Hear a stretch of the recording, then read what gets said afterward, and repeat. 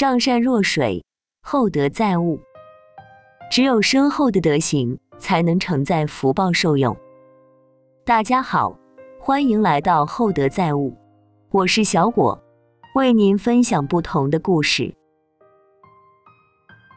许家和林家是世交，也是赣州地界上的两个大户人家。许家的儿子许立泽和林家的女儿林曼曼青梅竹马，两小无猜。在他俩八岁那年，双方父母就给他们定了娃娃亲。本来大家都很看好这对金童玉女，可天有不测风云，在许立泽十二岁这年，家里意外的发生了一场大火。把许家烧得一干二净。那天夜里，许立泽早早的睡了，半夜迷迷糊糊的听到父亲急切的声音：“泽儿，快醒醒！”他睁开眼睛，看到外面燃起了大火，惊慌的问：“父亲，发生了什么事？快跟我走！”父亲顾不上跟他细说，拉起他就往外走。把许立泽送到安全的地方后，许父见许母没出来，他刚才推了他几下没动，可能睡得太沉了，于是他又折回了大火中救他。可许立泽等到房屋彻底塌了，都没有见到父母出来。许立泽的哭喊声惊动了下人和左邻右舍，可等大家赶到时，许家正宅已经变成了灰烬。经过大家的努力，终于把大火灭了。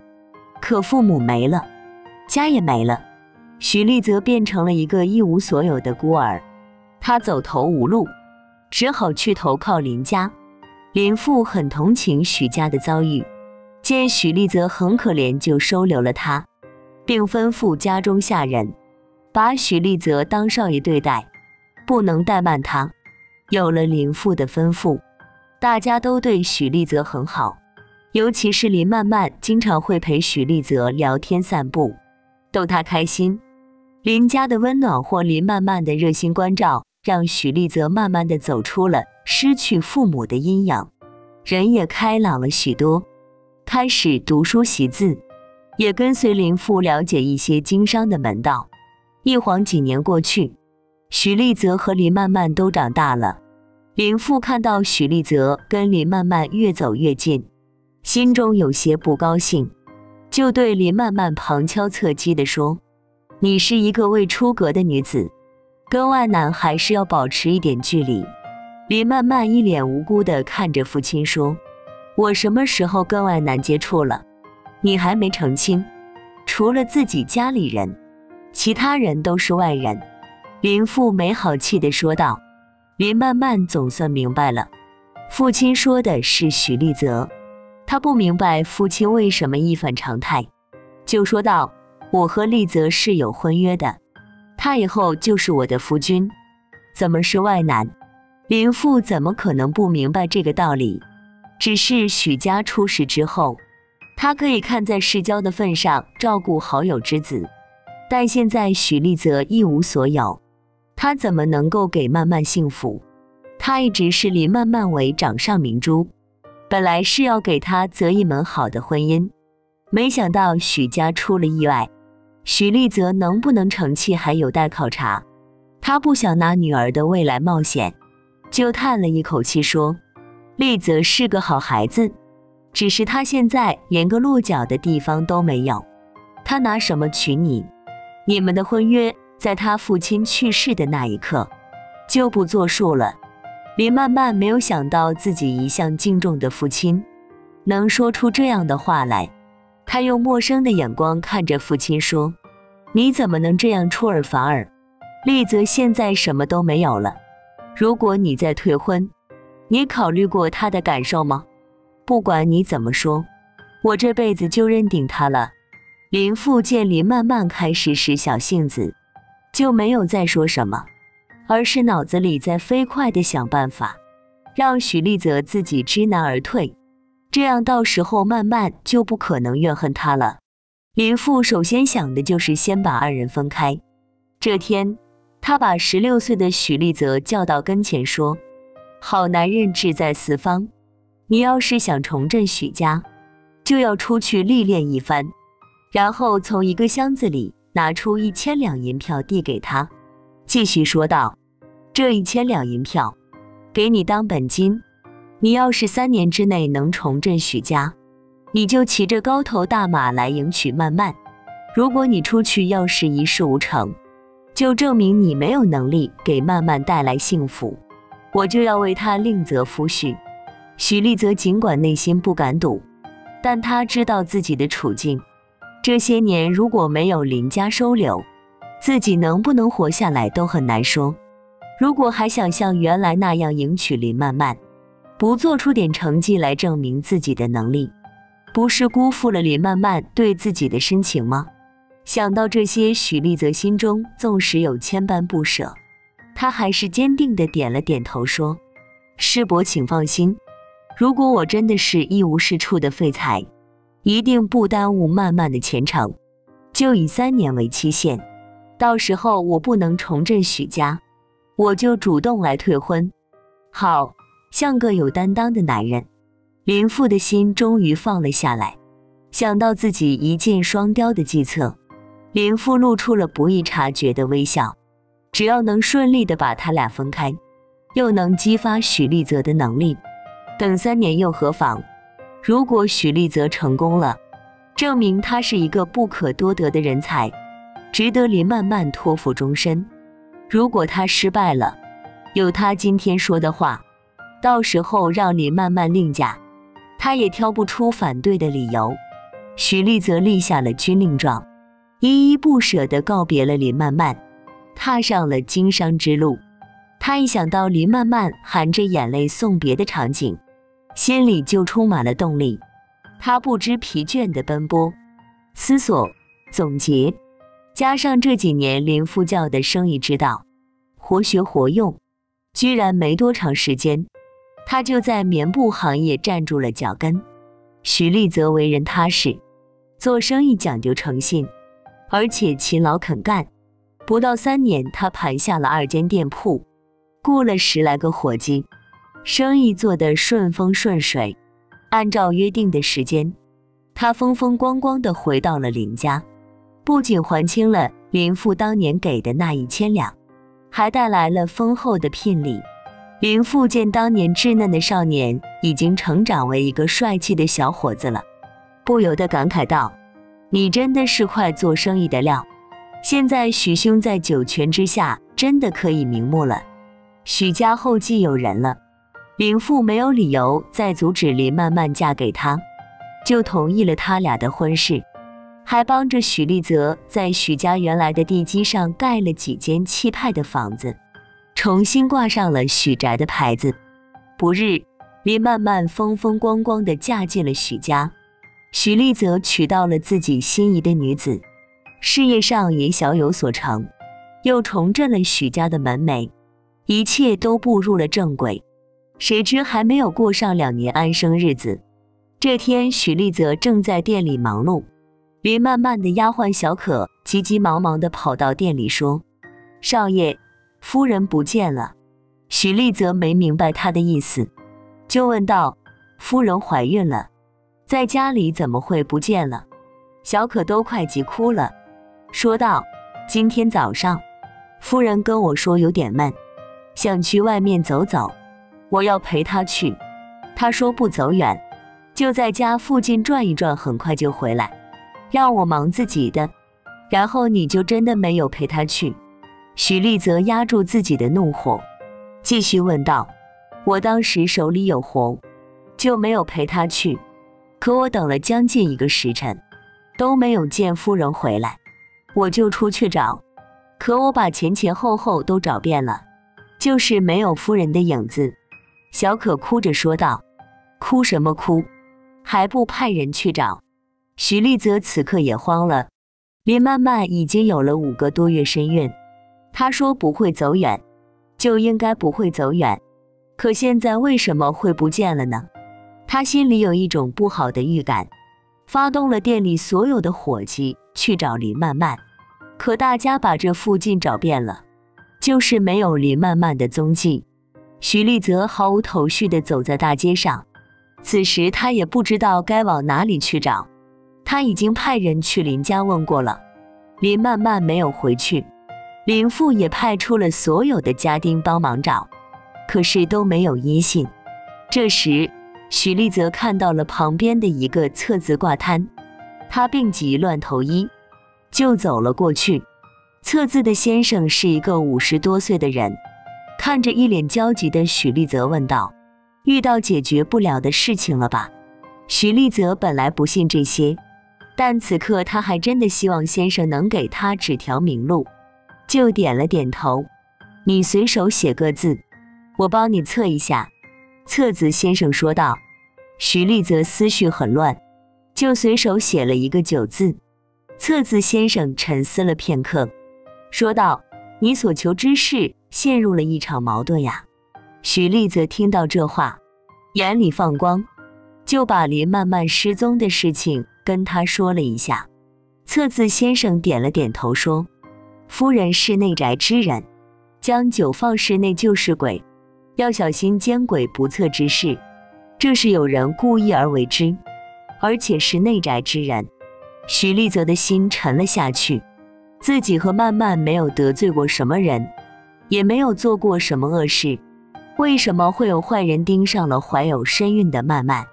而且内宅也很简单，因为曼曼喜欢安静。家中也没有过多的事物，内宅只有一个管家许叔，丫鬟小可，厨娘林婶，这几个人之间也没有什么矛盾啊。徐丽则觉得册子先生有点胡说，就摇了摇头，掏了银子准备走。这时册子先生似乎看出了他的心事，说道：“你信则有，不信则无。不过我可以告诉你一个好消息。”你夫人怀的是儿子，而且是一个不平凡的儿子，所以他这次一定能逢凶化吉。此话怎讲？许立则又站住了，问道：“九是阳数，所以会生男孩，而且九相凡又不是凡，所以夫人肚子里的孩子是一个不平凡的孩子。九是丸子角，这个孩子不会出意外，肯定能安全生下来。”测字先生一口气把他能想到的都说了出来。许丽则听了这几句话，心里舒服了很多。不管真假，他都希望这个是真的。于是又给册子先生放下了一些碎银子，继续去找林曼曼。可这么漫无目的的找也不是办法，他还是决定从许宅内部的人查起。小可是林曼曼从林家带来的陪嫁丫鬟。从小就跟着他，这个姑娘应该不会有问题。那就只剩下许叔和林婶了。许叔也是林父推荐的可靠之人，他也没有理由对林曼曼下手。至于林婶，来历有些复杂。那年他陪林曼曼去庙里上香，在回来的路上，他们的马车撞倒了一个妇人，这个妇人就是林婶。当时他并无大碍。只是说自己无路可走，希望他们收留，赏他一口饭吃。因为林婶的脸上有疤，是破了相的，常年戴着面纱，大家都忌讳，不好找活干。林曼曼心软，就把她收留在府里干厨娘。这一年多下来也相安无事。林婶手脚勤快，做的饭菜也很可口。是她带走的林曼曼吗？许丽泽虽然不知道林婶有没有这样做的动机，但他还是在暗中细细观察林婶。林婶给他端来了晚饭，但他担心林曼曼一点胃口都没有。他对林婶说：“端下去吧，夫人没有着落，我没有食欲。”林婶的眼神有一些躲闪，但还是安慰许丽泽说：“多少吃点，你只有吃饱了才有力气找他。”许丽则坚持不吃，林婶也就撤回去了。夜黑了下来，林婶提着篮子，举着火把走出了许家。她往城外走去，根本不知道身后有人跟着，脚底下的速度也越来越快。很快来到一个没有人烟的破庙，她停下了脚步，前后左右看了看，确定没有人，他才推开了破庙的门。许丽则趴在窗户上，他看到林曼曼被绑在柱子上，嘴里塞满了布，眼睛红肿，他的心都碎了。他顾不上想太多，一脚踢开了门。林婶和林曼曼都吓了一跳。林婶看到他之后就想逃跑，被许丽泽带的两个伙计摁住了。许丽泽把林曼曼的绳子解开，把她全身上下都检查了一遍，确定他没事才放下心来。这时他在努力克制自己打人的冲动，对林婶说：“你是谁？你为什么要这么对曼曼？你到底想干什么？我是谁？”哈哈哈！灵神仰天一阵长笑，眼睛里却充满了泪，然后恶狠狠地说：“告诉你，我要让你们许家后继无人。”许丽则听到这里不寒而栗。如果他今天没有跟来，曼曼和孩子就有危险了。但他实在搞不明白，林婶为什么这么恨他。把他的面纱摘了，我看看他到底是谁，为什么这么恨我。许丽则喊道：“伙计，扯下了林婶的面纱，左脸上有明显的伤疤，让整个脸看起来都很扭曲，确实有点可怕。但许丽泽还是认出了这张脸，他惊讶地喊道：‘梅姨，为什么是你？你怎么变成这样了？’梅姨是他娘的陪嫁丫鬟，许丽泽等于是他带大的。可在许丽泽十岁那年。”梅姨却突然不见了。他问母亲时，目前也只是说梅姨出嫁了。可现在为什么破了相，还对许家充满了恨呢？许丽泽心里有一百个问号。算你小子还有点良心，知道我把你带大不容易，比你爹娘强多了。梅姨说这话时，眼睛里全是恨。梅姨，当年到底发生了什么事？你为什么这么恨我爹娘？许丽泽问道。梅姨陷入了沉思，开始诉说当年的事情。那天晚上，梅姨忙了一天的活，刚回到自己的房里，想泡个热水澡之后睡觉。可这时许父推门进来了，他喝了一些酒，看到梅姨时，他完全失去了理智，强行占有了她。事后并承诺纳她为妾，梅姨想着自己是丫鬟，能成为许家的妾也是一件好事，就把这件事情忍下来了，等着许父的安排。可一个多月过去，许父还没有动静，梅姨却发现自己怀孕了，她就把这个事情告诉了许父。许父当时也挺高兴的，就拉着她去找许母。当许母知道二人不仅有了苟且之事，还珠胎暗结，本来就很小心眼的她，更加气愤不已，根本就不同意纳梅姨为妾。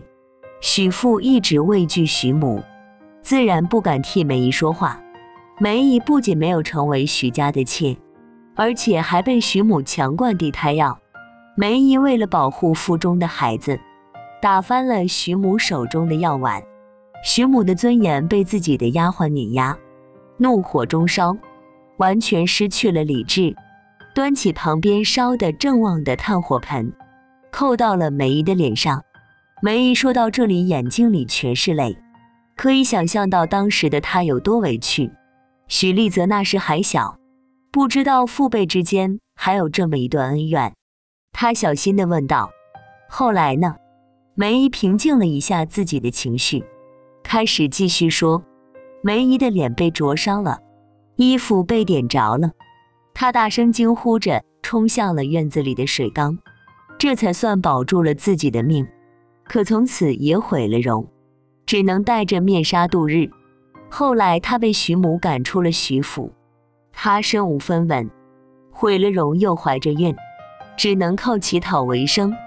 但她还是把孩子生下来了，是个女孩。为母则刚，她觉得自己能力有限，想把孩子送回徐府，让孩子有一个好的生活环境。毕竟是女孩，不存在争家产的事。希望徐母能念着过去的旧情，收留他的孩子。可徐母看到他们娘俩时，心中的怒气依然没有消，把他们大骂了一顿，还差点抢过孩子淹死。梅姨对他的恨也是在这个时候彻底生根。他认为徐母太狠了，完全不念旧情，也不认许家的骨肉。他决定要报复。他跟了徐母十几年，自然知道徐母的一切喜好，也知道许家哪里没有下人经常走动。那天，他悄悄地从狗洞里爬进了许家，趁着厨娘不在，他在徐母最喜欢的汤里面下了迷药，然后等到夜深人静的时候，又在正宅放了一把火。他眼睁睁地看着许家烧着了。看着许父许母葬身火海才离开，许丽泽这时才明白，自己家的那场大火并不是意外，而是梅姨放的火，害得自己一夜之间变成孤儿的人居然是梅姨，他的心也开始揪着疼。可这一切到底是谁的错呢？这时，梅姨红着眼睛指着他说：“你为什么要在老宅的位置盖房子？”你为什么要重振许家？当这个地方、这个房子再次盖起来的时候，我心中的仇恨又燃起来了。他们不配有子孙，我要让他们后悔。在场的人都认为梅姨疯了。上一代的恩恩怨怨为什么要扯到下一代？而且慢慢跟这件事情有什么关系？她肚子里的孩子又何其无辜？许丽则知道梅姨的心理。已经严重扭曲，他们解不开这个死结，就对伙计说：“把他押去县衙吧，让知县来定夺他的罪行。”许丽则把林曼曼接回了家，又请了郎中过来给他看病。好在一切有惊无险，孩子也正常，梅姨的药也还在篮子里，没有来得及灌下去。林曼曼虽然受了惊吓，但她心地善良。知道这些事情不是梅姨一个人的错，毕竟许家父母也有错，就对许丽泽说：“你去趟县衙，给梅姨求求情。她虽然犯下了弥天大错，纵火杀人，但也是情有可原，饶了她的死罪吧。再问问你那个妹妹的下落，毕竟是你们许家的血脉，就接回来吧。”许丽泽听从了林曼曼的话。跟知县陈述了实情，最后梅姨判了终身监禁，在牢中悔悟自己的一生。许丽则从梅姨口中得知了妹妹小玉的下落。年仅十二岁的她被梅姨卖进了一个大户人家当丫鬟。许丽则找到了那户人家，把小玉赎出来，带回家悉心培养。好在小玉心里很健康，人也踏实肯干。成了哥哥嫂嫂的好帮手。没几个月，林曼曼生下了他们的大儿子。许丽则记得册子大师说过，这个孩子不平凡，就给他取名许非凡，希望他健康平安的长大，将来有出息。好了，今天的故事分享就到这里了。希望听完我的分享后。您会有所受用。如果您有什么意见，欢迎在下面留言讨论。我们下次再见。